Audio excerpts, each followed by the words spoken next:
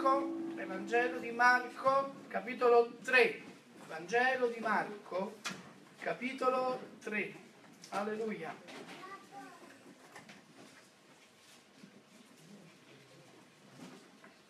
Evangelo di Marco, capitolo 3, leggiamo dal verso 31. Alleluia.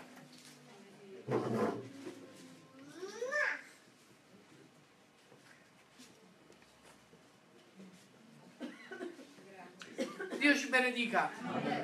Giunsero sua madre e i suoi fratelli e fermatisi fuori lo mandarono a chiamare. Una folla gli stava seduta intorno e gli dissero, ecco tua madre e i tuoi fratelli e le tue sorelle là fuori che ti cercano. Egli rispose loro, chi sono mia madre e i miei fratelli? Girando lo sguardo su coloro che gli sedevano intorno, disse, ecco, mia madre e i miei fratelli, chiunque avrà fatto la volontà di Dio, mio fratello, sorella e madre. Signore, ti preghiamo con tutto il nostro cuore, desideriamo che la tua parola possa farci del bene, istruirci per il tuo regno. Te lo chiediamo con tutto il nostro cuore, facci sentire la tua presenza in maniera particolare stamattina.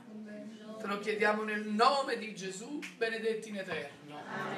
Accomodatevi fratelli e questo è un brano che sicuramente conosciamo. Lo citiamo tante volte, anche, ce lo citiamo anche tra di noi.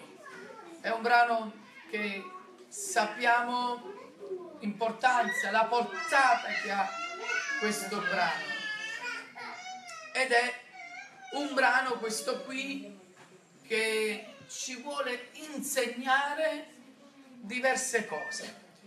È un brano questo qui che ci vuole dire delle cose importanti riguardo alla relazione che noi siamo chiamati ad avere con il Signore. Anzi, vi dirò di più, non alla relazione che siamo chiamati, perché non c'è da parte di Dio nessuna coercizione, nessuna costrinzione. La relazione che vogliamo avere però, che desideriamo avere con il Signore. È il Signore che ci fa scegliere, come d'altronde ha sempre fatto il Signore. Non ha mai costretto nessuno, mai ha costretto nessuno a fare la sua volontà, non ci ha mai preso per i capelli, non ci ha mai strattonato, non ci ha mai eh, costretto o fai la mia volontà o, o, o, o, è così o poi ti succede qualcosa eh, o, faccio succedere qualcosa. Voglio semplicemente spiegarvi qualcosa proprio intorno a questo. Non, questo non significa che se non facciamo la volontà di Dio vivremo bene. La scelta di fare la volontà di Dio è nostra e Dio ci pone davanti a, alla strada della vita e alla strada della morte. Se io e te scegliamo di stare, di seguire la strada della vita, noi troveremo su questa strada tutte le cose che riguardano la vita. Se scegliamo la strada della morte, non ci dobbiamo lamentare né con il Signore, né con gli altri, né con le cose che non vanno bene, perché su quella strada troveremo tutte le cose che ci parleranno di morte, che ci parleranno di fine, che ci parleranno di sofferenza, che ci parleranno di violenza. E stamattina è importante capire che la volontà di Dio è una scelta di vita, è una scelta che se facciamo, facciamo del bene innanzitutto a noi. Quando ci mettiamo sulla strada della vita, noi non facciamo un favore a Dio. Non diciamo, vabbè, lo faccio perché il Signore è contento. Sei tu tu per primo a essere contento, sei tu per prima ad essere felice. Se tu non scegli la strada della vita, sei tu a essere triste, sei tu a vivere male, sei tu che ti verrai a trovare in situazioni di sofferenza, in labirinti di guerra spirituale, eh, psicologica, eh, forse anche fisica. Eh, è molto importante stamattina che io e te scegliamo o quantomeno cerchiamo di capire che tipo di relazione stiamo stabilendo con il Signore, che tipo di relazione intendiamo avere con il Signore. E il passo di stamattina è un passo che insomma parla chiaro, fratelli. Non c'è eh, dubbio che possa rimanere alla lettura di questo passo, anche perché a spiegare la relazione che vogliamo avere con il Signore, come la dobbiamo avere, è Gesù stesso. Quindi non c'è qui, ehm, non, c'è la parola di Pietro, eh, oppure la parola di Paolo che possiamo eventualmente dire, beh, Pietro si è trovato a dire così, eh, Paolo si è trovato a dire così perché eh, si trovava in una determinata situazione. Questo che parla, questo che detta le regole per stare nella volontà di Dio è Dio stesso, è Gesù. E noi crediamo che Gesù è Dio, è vero? È figlio di Dio. Eh, e qui ci vengono dette delle cose molto belle, molto forti anche, se vogliamo, eh, ma anche delle cose che sono in grado di farci interrogare stamattina. Gesù si ritrova con una delle tante folle a cui sta parlando, con la quale si è eh, radunato. Non sappiamo se questa folla del verso 31, del verso 32, sia la stessa folla del verso 20. Non lo sappiamo perché nel verso 20 del capitolo 3 dice entrò in una casa e la folla si radunò di nuovo così che egli e i suoi non potevano neppure mangiare. E poi dopo eh, viene fatta una contestazione dagli scrivi sull'operato di Gesù, è il momento dove addirittura Gesù viene scambiato, o meglio, viene volutamente fatto scambiare per Belzebù, quindi il principe dei eh, demoni, e ad un certo punto Gesù con grande autorevolezza spiega che un regno non può essere diviso in se stesso, lo spiega ai suoi e quindi parla eh, ai suoi togliendo ogni dubbio eventualmente dalla mente eh, dei discepoli o di quelli che avevano udito questa contestazione. E poi abbiamo il verso 32 che riprende questa eh, questa immagine. Una folla eh, gli stava seduta intorno, quindi non sappiamo se è la stessa folla. A noi poco cambia se è la stessa o se è un'altra folla. C'è di fatto Gesù che sta parlando, c'è di fatto Gesù che sta insegnando, c'è di fatto Gesù che sta predicando e sta dicendo qualcosa di importante a quelli che lo stanno ascoltando. Quando ad un certo punto, nel bel mezzo di questa folla, eh, l'Evangelista Marco proietta un'immagine fuori dalla comunità, diciamo, fuori dal gruppo che sta ascoltando la parola e l'immagine la proietta sulla famiglia di Gesù, sulla madre, sui suoi fratelli e sulle sue sorelle i quali sono preoccupati per Gesù. Pensate un po', sono preoccupati. È probabile che c'è stata una riunione di famiglia addirittura. Voi dite, eh, dove c'eri anche tu? per, per dire questo, il collegamento è con la folla del verso 32 del verso 20, quello che vi ho detto. Perché in questa folla Gesù sta parlando con i discepoli e le cose si sono così protratte che i discepoli si stanno dimenticando pure che devono mangiare, che hanno una vita, eh, che hanno delle loro mh, esigenze, no? È così intensa la cosa che sembra che non ci siano più orari, si salta, eh, non avevano neppure, no, o meglio, eh, i suoi non potevano neppure mangiare. Ehm, quindi immaginate il livello alto che si è creato in questo momento. Eh, sfuggono le cose ordinarie dalle mani, eh, le cose ordinarie ma anche importanti, eh, normali. Si viene dato precedenza a quello che sta facendo Gesù, questo è il momento perché dobbiamo fare così e mentre viene fatto questo, mentre si svolge tutto questo, la telecamera si sposta eh, da Gesù e dai suoi discepoli che si erano pure dimenticati di mangiare.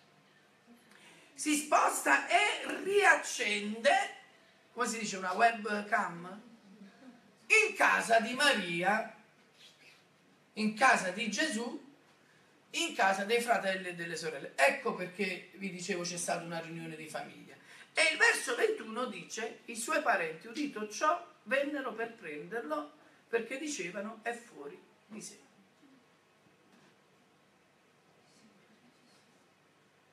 Quindi c'è stata una riunione in casa, dobbiamo andarlo a prendere perché è andato fuori. Non si mangia, si salta. E dove dobbiamo arrivare? Maria avrà riunito i fratelli, le sorelle, ecco perché a un certo punto si arriva lì. È fuori. Qualcuno gliel'avrà detto. I parenti udito ciò. C'è sempre la voce che deve rapportare le cose che gli fa comodo, no? E non si capisce più niente. Eh, abbiamo una vita, eh, vedi tuo figlio, cosa sta facendo, poi si è fermato là, eh, eh, non ci sono orari, eh, non si capisce più niente. Sollecitarono l'attenzione della famiglia. La famiglia che stava svolgendo una vita tranquillamente normale,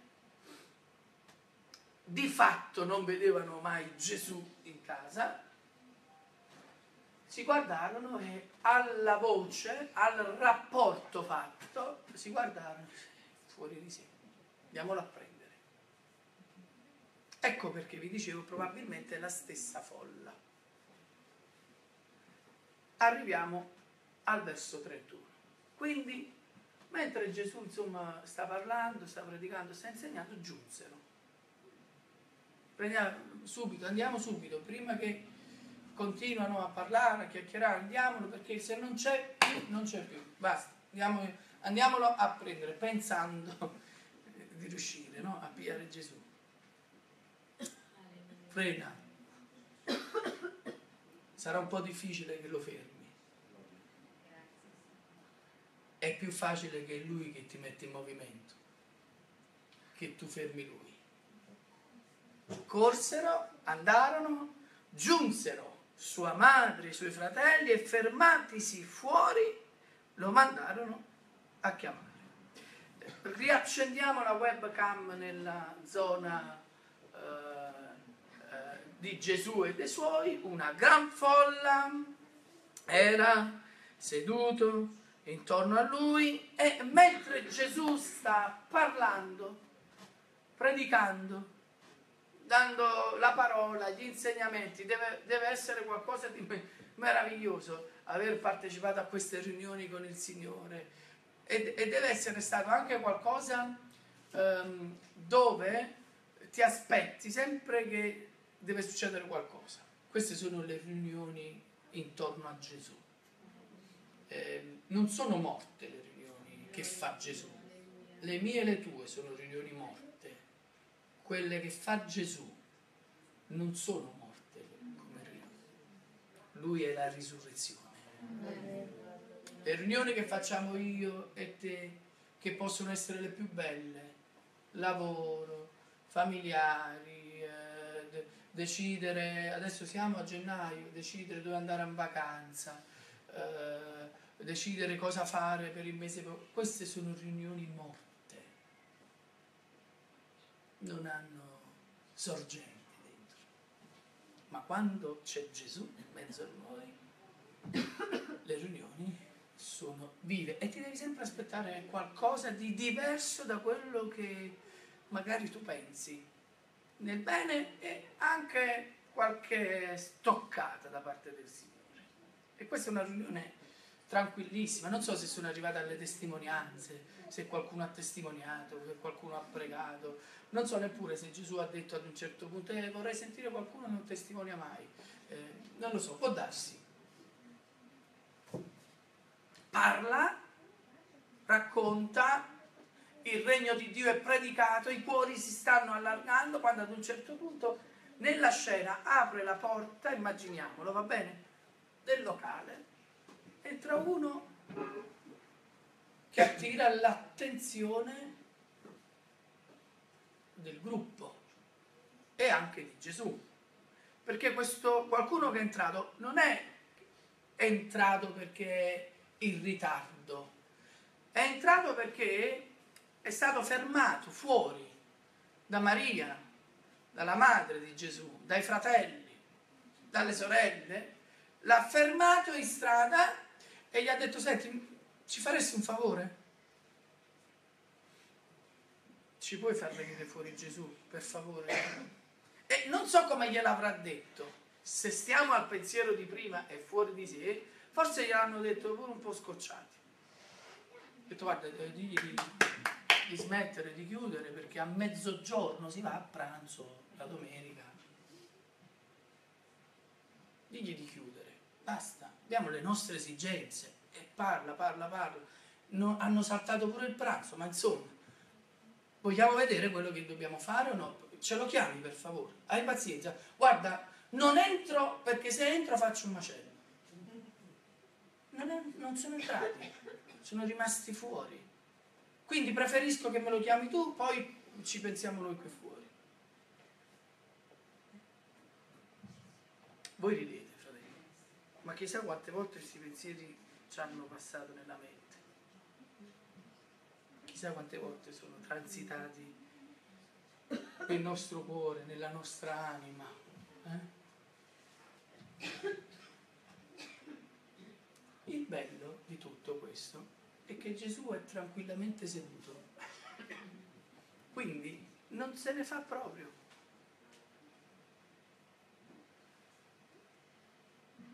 Le nostre preoccupazioni non potranno mai gestire le responsabilità che Dio ha, gli oneri divini, perché forse non l'abbiamo capito ancora, che questa vita ha un inizio e una fine. E che Gesù è venuto principalmente non per darci una così è venuto per aprirci le porte dell'eternità. E questo è quello che conta. Perché vuoi o non vuoi, ci vuoi pensare o non ci vuoi pensare, uh, vuoi far finta di non crederci, tanto ci credi, prima o poi morirai. Arriverà il tuo momento e, e, lo dico non per spaventarti, perché non, po- non posso spaventarti su un argomento che è comune a tutti. È comune a tutti. Ci abbiamo tutti una data che non conosciamo, che prima o poi sarà messa sulla tomba. Bella predica, eh? Molto, sì, molto solare. Per adesso conosciamo solo la data di nascita ma già c'è quella data. I nostri anni sono nelle mani di Dio. I nostri giorni sono stati già stabiliti. Il miglior medico di questa terra non potrà allungare di un secondo la tua vita. Di un secondo, a me piacciono alcuni credenti quando dicono eh, il Signore ci ha dato, eh, eh, mi ha salvato la vita. Ma chi? Chi? Tutto quello che succede, succede perché è Dio che lo stabilisce. Lui dà e lui toglie. È lui che dice sia la luce, la luce viene. È la sua parola che genera vita. È la sua parola che può mettere fine alla nostra stessa esistenza terrena. Lo mandarono a chiamare. Um, io sono, non so voi, però io sono propenso a pensare che la folla è la stessa. E l'atteggiamento della famiglia di Gesù, se avete notato, è un atteggiamento infastidito. Fermatisi fuori. No. Secondo me ci deve essere stato un servizio d'ordine che hanno detto ah, entrate, entrate, che il culto è iniziato, vi do l'innario, vi do... no? Sicuro. E loro no, no, no, no, no, no, no. Vabbè, sì, sì, vabbè, sappiamo le cose, fermatisi fuori, per favore ce lo chiami. È così infastidito che sono pronta a interrompere una riunione a volte il nostro cuore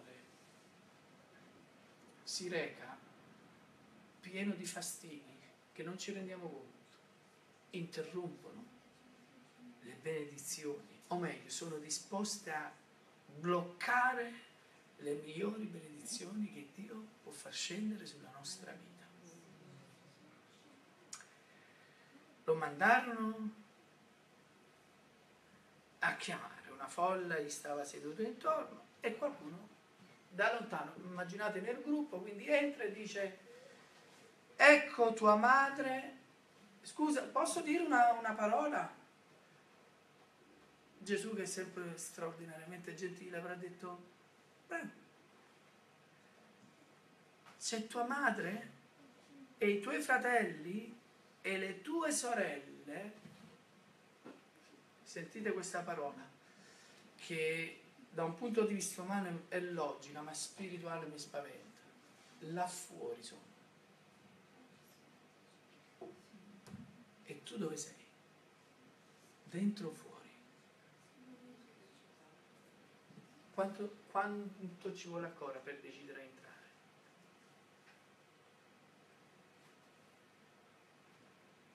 Veniamo al messaggio di oggi, vedi? Amore dopo tutte queste parole dobbiamo ancora arrivare a me sì perché è breve. Non ti serve avere un titolo?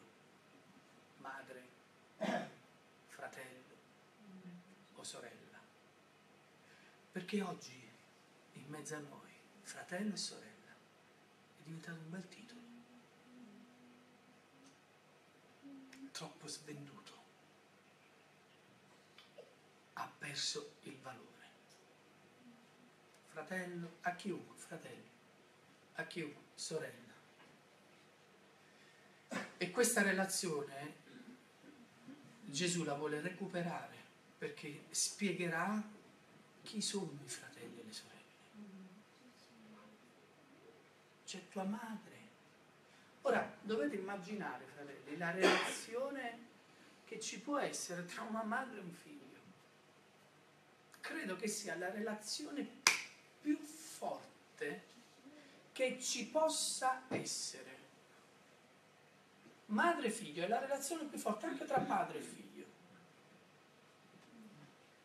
Una madre che si arrabbia, io ho quattro figli, quindi voi capite, no? Sapete che ho quattro figli? Una madre che, che rimprovera il figlio anche se lo rimprovera aspramente, nel giro di poco si ricompone tutto. Basta che la mamma gli fa un sorriso e fi- è finita tutto. Tutto finito. Se glielo fa il padre, un rimprovero. Se muso, un giorno, due giorni, e, e che ci vuole per recuperare? Gli devi comprare tutti i giocattoli della diaspora. È così, eh. Quindi voglio dire che c'è un, nel rapporto madre-figlio qualcosa di straordinario, no? È chiaro, di divino. Viene, la creazione stesso si manifesta nel rapporto madre-figlio. E quindi questo ci parla di una relazione importante, qualcosa che ha partorito, è suo, viene dentro.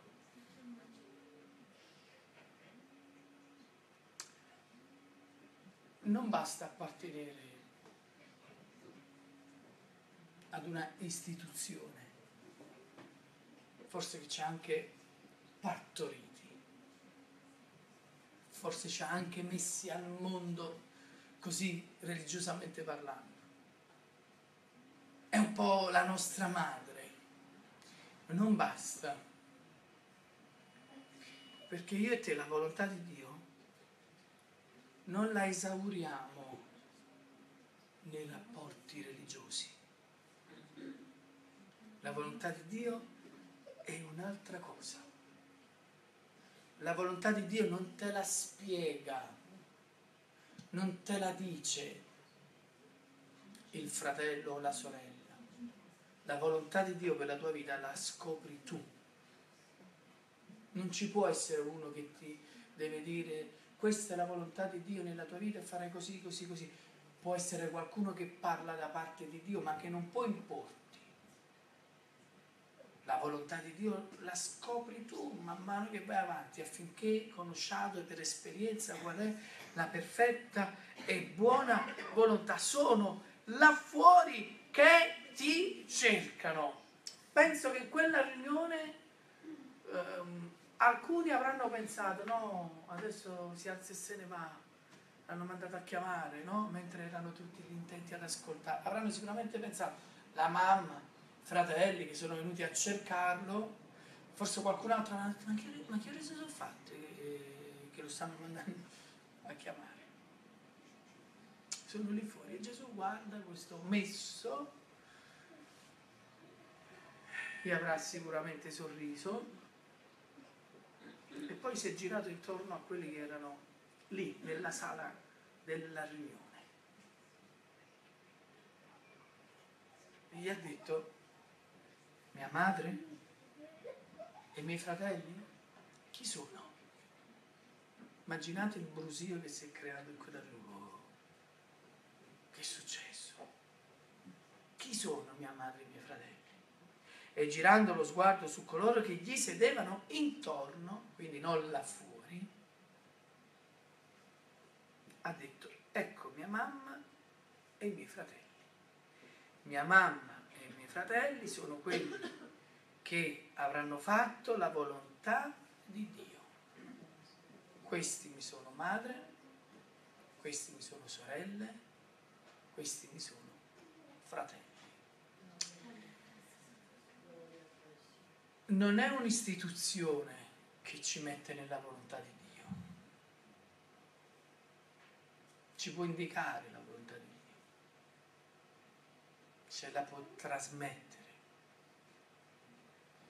ma la volontà di Dio è una relazione profonda tra me e te e il Signore, fratelli, sorelle e Dio. Fratelli, è molto importante, noi diciamo spesso se piace al Signore, no, se piace al Signore, no, io vorrei se piace al Signore. Che cosa piace al Signore? Al Signore piace che io e te ci curiamo di fare la sua volontà nella nostra vita. Che non ci fermiamo a distanza, che non rimaniamo fuori, è altrettanto significativo che fuori, là fuori cercano Gesù. Lo mandarono a chiamare. Non chiedere che Gesù venga nella tua volontà. Non chiedere che Gesù venga a te. Sei tu che devi andare a Gesù.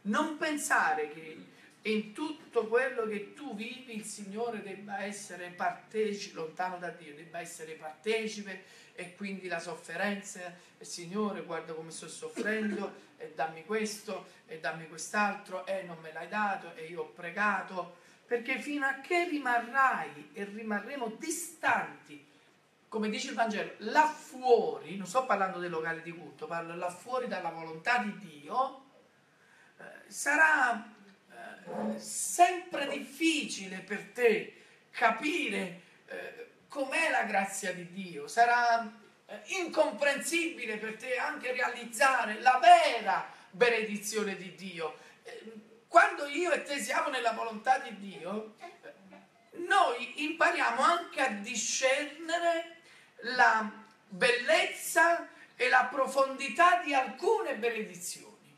smettiamo proprio per, per, per esperienza di andare alla ricerca di cose, sì, che saranno anche importanti, però sembrano perdere il senso quando sei nella volontà di Dio. Non sto dicendo che non sono importanti, ma quando siamo nella volontà di Dio, le cose di cui tu hai bisogno ti vengono date e provvedute in maniera abbondante senza che tu te ne rendi neppure conto. Cercate prima il regno di Dio e la sua giustizia e tutte le altre cose vi saranno date in aggiunta. Quando sei nella volontà di Dio, tu impari a conoscere situazioni, anche persone eh, che non avresti mai pensato di conoscere. Eh, il Signore inizia, non voglio dire gestire che magari qualcuno può spaventare, ma inizia a muovere la tua vita in maniera tale che tu stesso godi i benefici eh, dello stare al centro dei suoi pensieri e della sua volontà. E la sua volontà non diventa per te un macigno da sopportare, ma diventa un'esperienza da fare, perché no, da promuovere anche agli altri. Cerca la volontà di Dio. Qual è la volontà di Dio? Cerchiamo la faccia del Signore. Ci sono delle relazioni umane, madre, fratelli e sorelle, e delle relazioni spirituali.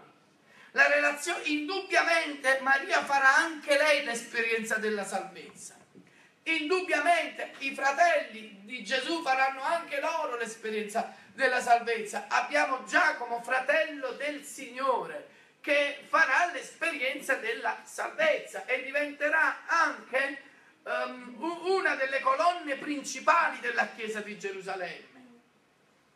Ma quando Giacomo scrive la sua epistola, eh, lui si dichiara non fratello in carne di Gesù, non, non sta mettendo il peso su qualcosa di umano, quindi su qualcosa che lo gratifica, che lo onora. Io sono il fratello di Gesù e ho vissuto l'infanzia con lui. Chi lo conosce meglio di me? No, no, lui scrive l'epistola e si dichiara servo del Signore. È cambiata la sua relazione. Non vive più una relazione che muore con il tempo, quindi umana, ma vive una relazione che è legata all'eternità. Io e te Dobbiamo fare un salto di qualità in questa vita terrena. Non possiamo pensare che la nostra relazione con il Signore inizia e finisce perché andiamo al culto la domenica. Non possiamo pensare che la mia e la tua relazione inizia e finisce perché siamo evangelici, perché siamo pentecostali. La mia e la tua relazione con il Signore inizia, si perfeziona, si realizza quando entriamo nel piano della sua volontà e nella sua volontà io e te desideriamo a tutti i costi rimanerci. Costasse anche il nostro tempo. Io capisco e so che in mezzo a noi ce ne sono altri che capiscono il senso di questa frase, non ebbero tempo per mangiare. come capisco anche dall'altra parte il commento è fuori di sé, lo capisco. Ma quando Gesù si ritroverà con questi che non hanno avuto tempo di mangiare, sarà questi che Gesù dirà avrete cento volte tanto in questa terra e in quella futura. Sarà questa tipologia di credenti che il Signore manifesterà la sua gloria. Saranno loro che salgono sul monte della trasfigurazione e vedranno che Gesù è superiore alla legge e ai profeti. Saranno loro che entreranno nelle camere mortuarie della Palestina e vedranno la risurrezione della figlia di Jairo, figlio, del figlio della vedova di Nain, della risurrezione di Lazzaro. Saranno loro che avranno realizzato una relazione che va oltre il tempo che io e te viviamo. Dobbiamo decidere, fratelli, se essere madre, fratelli e sorelle di Gesù seguendo la linea istituzionale di un tempo come questo, o essere fratelli, sorelle e madre di Gesù seguendo una linea che non finirà mai più.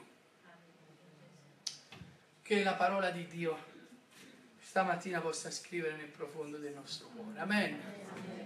Chiediamo a Dio di benedirci, di visitarci e chiediamo a Dio di non permettere che nessuno di noi venga infastidito e turbato dall'opera sua. Che non confondiamo, lo, sembra strano, gli scribi, persone che eh, conoscevano la legge, conoscevano ehm, benissimo la Bibbia di allora, l'Antico Testamento, che di fronte alle opere di Gesù lo scambiano eh, per il diavolo stesso. Guardate, eh, per quanto io e voi ci possiamo meravigliare adesso, ma non, ci sono alcune situazioni che riflettono la stessa identica cosa.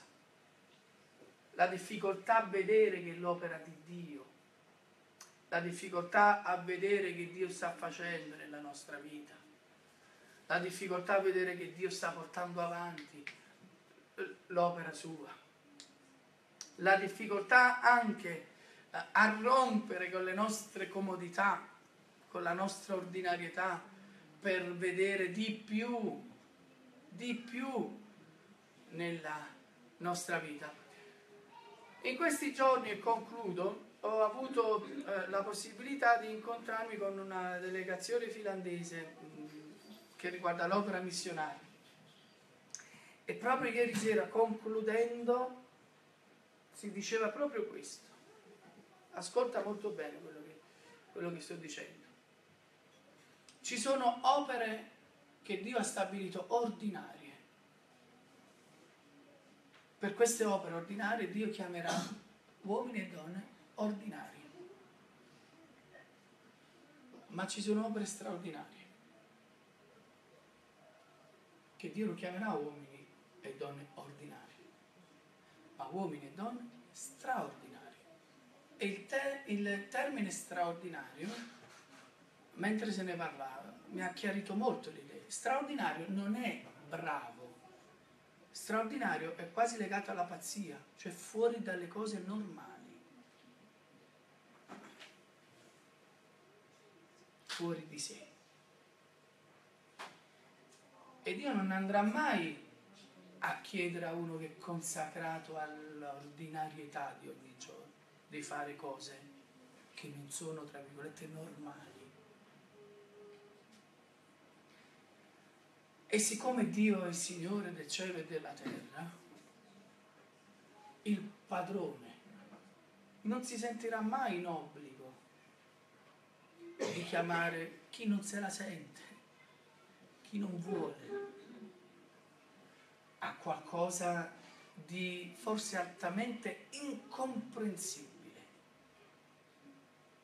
perché si andrebbe in crisi tranquillamente, ci si impegnerebbe, ci si verrebbe meno, uh, magari impegneresti tutte le tue forze, tutte le tue risorse, però a un certo punto crolleresti. E ci sono delle cose che Dio ha preparato per persone che Dio stesso ha preparato. Ma questo dipende dalla relazione che io e te intendiamo stabilire col Signore. Lui sarà sempre, e concludo con la frase di ieri sera, che parlando diceva, sarà sempre un gran galantuomo il Signore. Sarà sempre uno che bussa e non che sfonda la porta. Se tu apri, lui entrerà e ti farà cenare con lui. Ma non puoi pretendere di cenare senza la sua presenza. Non puoi, o meglio, chiedere a Dio di darti chissà che cosa sul tuo tavolo senza che lui però sia presente. A volte noi chiediamo, Signore, voglio darti la mia vita, voglio prenditi la mia vita, eh, fai tutto quello che devi fare e non ce ne rendiamo conto neppure di che cosa stiamo dicendo. Eh, girando non è né una critica né una, né una contestazione, ma una constatazione. Io ho visto che noi siamo proiettatissimi verso gli appelli, manco inizi a fare l'appello che ci hai già tutti davanti. E vi assicuro che da una parte ti viene la voglia di piangere e di dire che bello, dall'altra parte dici ma perché sei venuto davanti? Non inizi neppure, se senti che apri gli occhi. A volte mi verrebbe la voglia di cambiare, no? Se senti di allontanarti, vieni avanti. Perché noi siamo proiettati verso le emozioni. Le emozioni ci piacciono, ci piace pure piangere ci piacciono le lacrime che ci bagnano il volto, ci piace la sorella che ti porta il fazzoletto e che tu te l'asciughi, ti fa il sorrisetto, queste cose ci piacciono. La volontà di Dio è un'altra cosa.